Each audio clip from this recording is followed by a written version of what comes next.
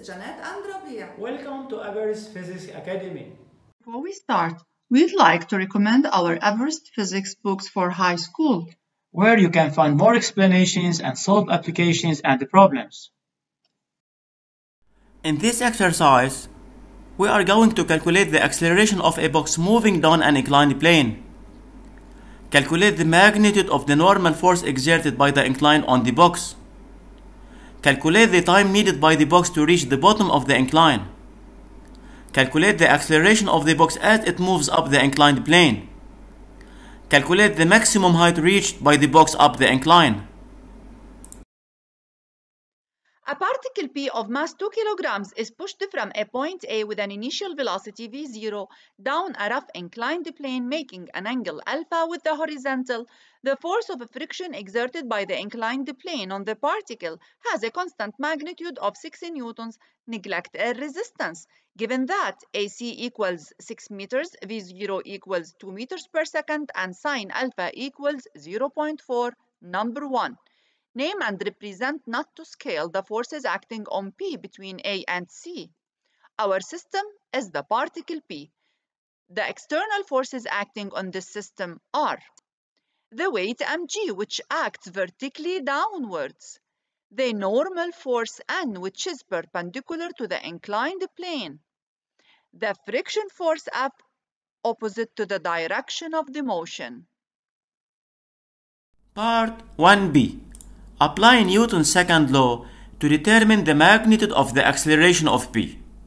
Newton's second law, the sum of the external forces or the net force equals the mass of the particle times its acceleration. The external forces are the friction, the weight, and the normal force. Project these forces along the x-axis. The x-axis is oriented positively downward. Look at the figure. The friction is opposite to the positive x direction. Then its the projection along the x-axis equals minus f.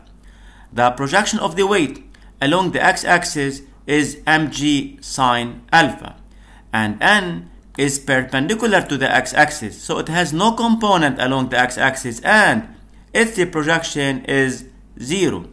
Now rearrange, we get a equals mg sine alpha minus f over m. Replace each physical quantity by its value. m equals 2 kilograms, g equals 10 meters per second squared, sine alpha equals 0.4, the friction equals 6, then a equals 1 meter per second squared.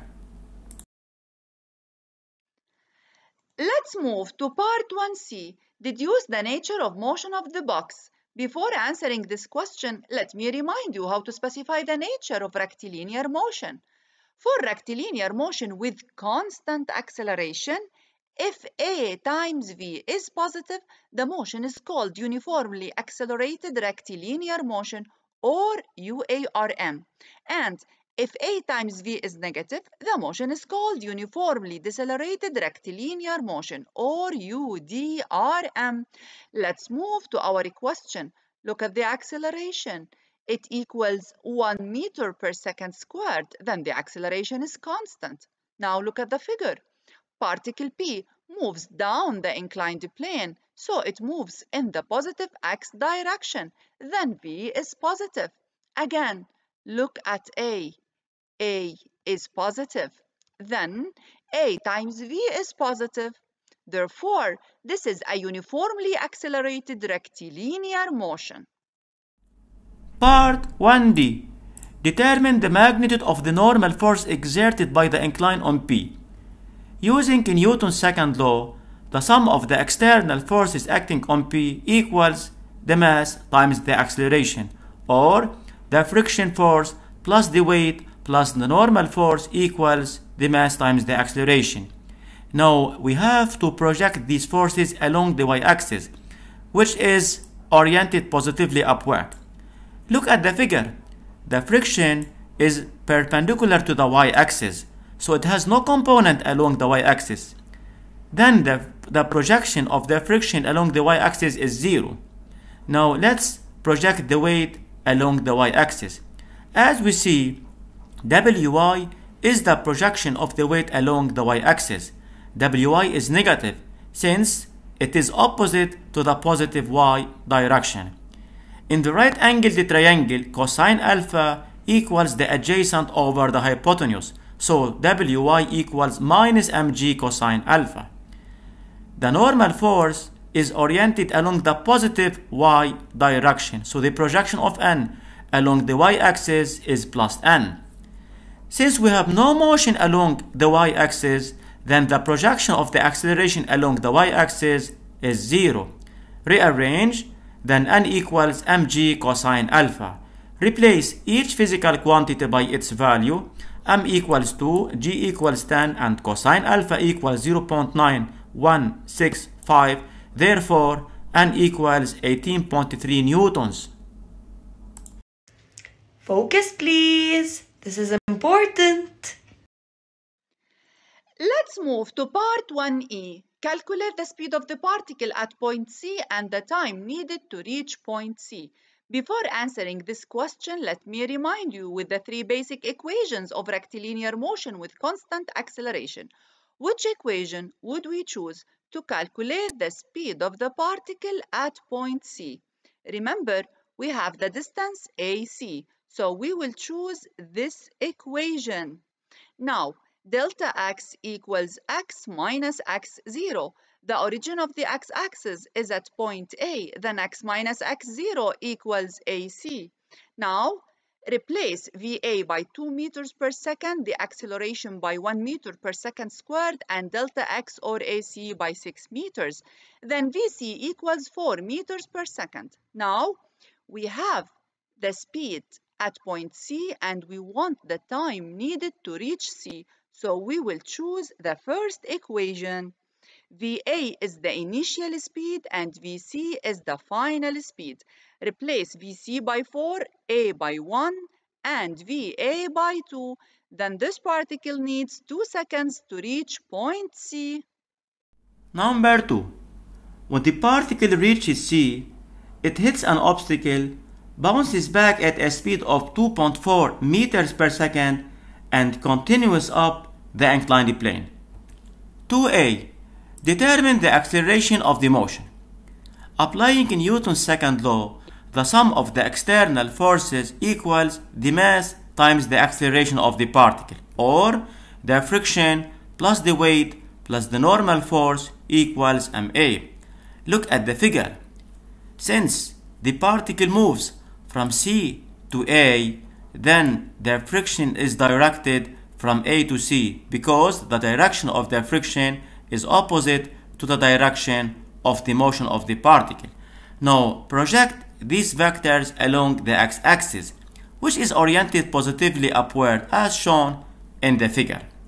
Since F is opposite to the positive x direction then its projection along this axis is minus F. The projection of weight along this x-axis is minus mg sine alpha because the x-axis is oriented positively upward and is normal to the x-axis. It has no component along the x-axis and its projection is 0. So minus f minus mg sine alpha equals ma. Rearrange, we get this expression. Now replace each physical quantity by its value. M equals 2, g equals 10, sine alpha equals 0.4, the friction equals 6, therefore the acceleration equals minus 7 meters per second squared. Let's move to part 2b. Deduce the maximum height reached by P relative to CB. Let's say that particle P reaches its maximum height at point D. Because we don't have the time needed by P to reach the maximum height, so we will choose the third equation. At the maximum height, the speed of the particle is 0 and delta x equals the distance CD. Now, replace Vc by 2.4 meters per second and the acceleration by minus 7 meters per second squared. Then, CD equals 0.41 meters.